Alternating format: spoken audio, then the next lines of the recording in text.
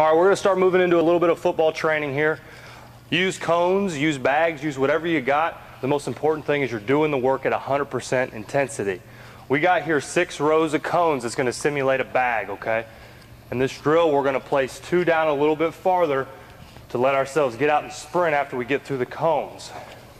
This drill here, we're gonna sprint forward. We're gonna shuffle from side to side. I'm gonna go about half speed to show us what we're doing here. So you're gonna give it a shuffle. You're gonna come up to the next cone and we're gonna try to get somewhere. It's a little bit of linear, linear lateral movement we're trying to work on.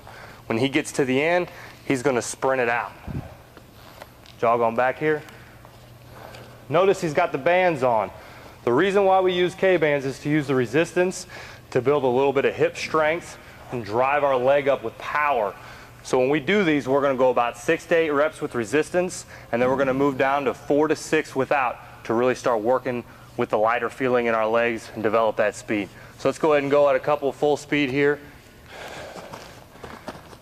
Notice he's really planting on that outside foot and he gets out and goes. Let's take a quick look while he gets back here. When you get in this position, you want to be in a balanced low position. You're going to shuffle as you get to the point where you're going to go the other way. Make sure you get a good base and stay centered. If you leave this foot out too wide, you're not going to be able to get out and go. If you leave it too close, you're not going to be able to shift your weight evenly to get to the next cone. So make sure you get in a place where you're balanced, shift and go. All right? Let's see another one here.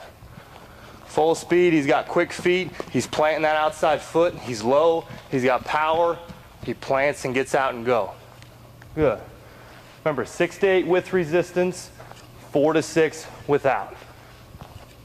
We're gonna go one more without resist or with resistance, and then we're gonna do a couple for you without. Get out and go, get out and go, be quick, be quick, pivot and go. Good. Each of these exercises, make sure that you sprint through the cones, pull up, walk back. We want to work at 100% intensity. So if you lose your breath, slow it down a little bit because we're not going to use this as much as conditioning as we want to use fast feet. All right. So you can go ahead and unclip.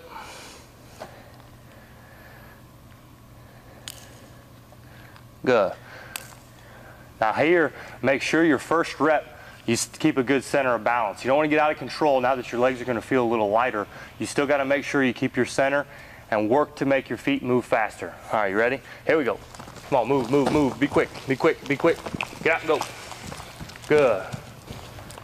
Here we go. Be quick, be quick. Get around, get around, get around. Be quick, get out and go. Hi, boy. Make sure to wear sliders underneath. It'll hold your band still.